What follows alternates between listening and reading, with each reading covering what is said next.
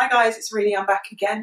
Before I moved to um, the Middle East, before I moved to the UAE, I'd read all of these horror stories about things that could happen to you, things that you can't do. And when I got to Dubai, I realised that the reality was very, very different.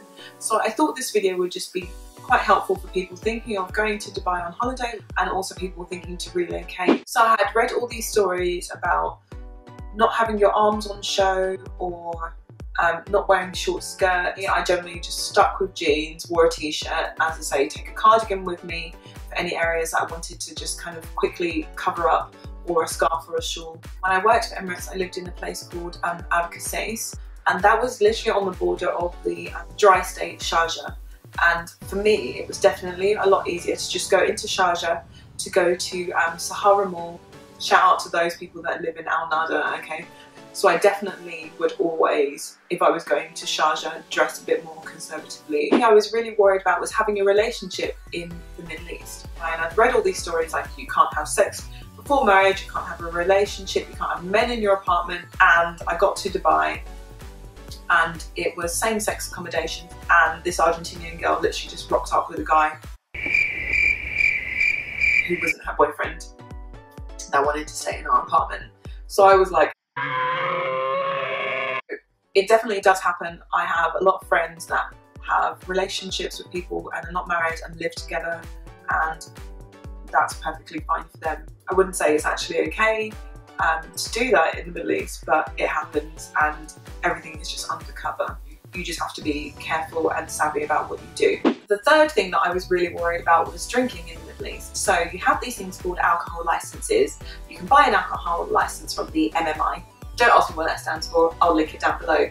And you have an alcohol license for one year and it means that you can go to certain stores with this card, no joke, and you can buy alcohol. And there were several different stores across, well, I lived in Dubai, so I'm sure they have them in Abu Dhabi as well, but across the UAE, obviously excluding the dry states, for example, Sharjah. And you go, you buy your alcohol, you show your alcohol license, you can take that home, and that means that you can have alcohol in your own house and you are legally allowed to drink alcohol in your own home.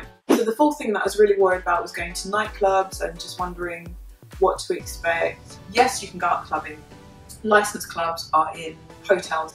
Anywhere that you want to drink alcohol in the UAE, apart from your house, if you have an alcohol license, is going to be in a hotel because those are the only licensed premises.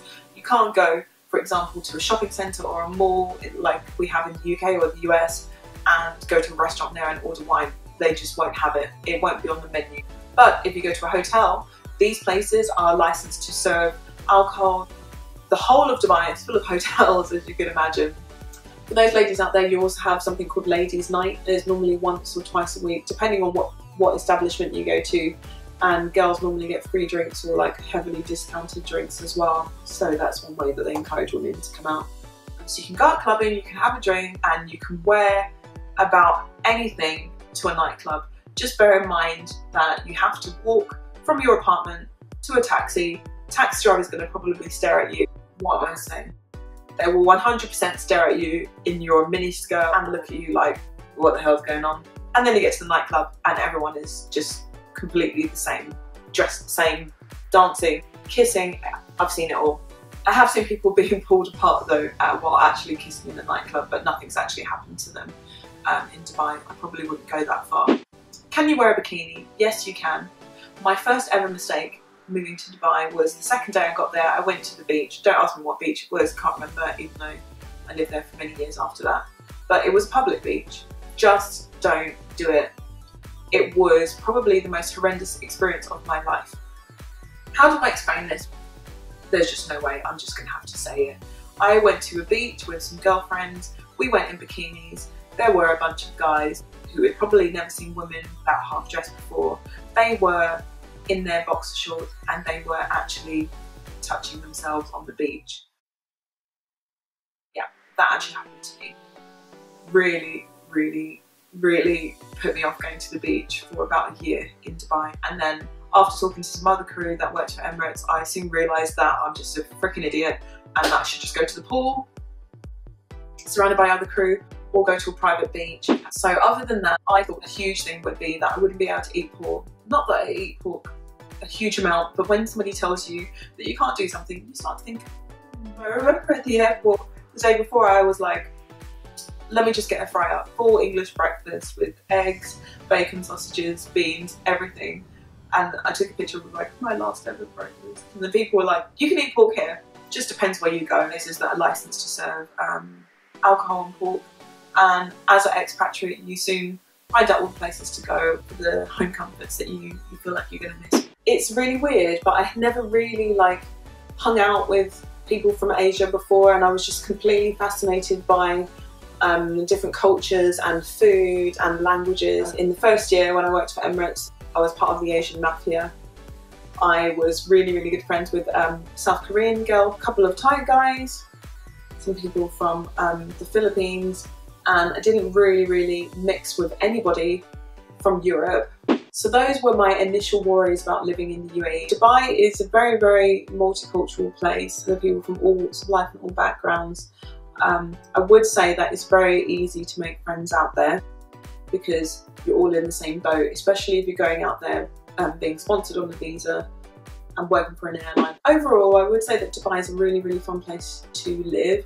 For me personally, I didn't feel like there was enough to keep me living there for such a long period of time. I really missed the seasons that you have here in the UK and I know it sounds crazy because now that I'm back in the UK I really really hate that it's cold and rainy. I did find for me it was a slightly fake place and I'm going to explain that in more detail. If you want to live somewhere that um, offers you that sort of lifestyle that you can go out partying and brunches and expensive and the finer things in life, then it's definitely the place for you. But if you're like me, like going out just to dance, but not going to pretentious places where people look at you up and down from the way that you dress or judge you, then I wouldn't recommend it as a place to live. I really hate pretentiousness. The more money you have, you'll seem to be of a better class, and that's just not me. And that's one of the reasons why I chose to leave Dubai when I did. So I really hope you enjoyed this video. I do hope that this has helped anyone thinking to live in the UAE, thinking to go on holiday. That's it from me today. If you want to see anything else in particular, please remember to comment down below. And if you like this video, don't forget to thumbs up and subscribe.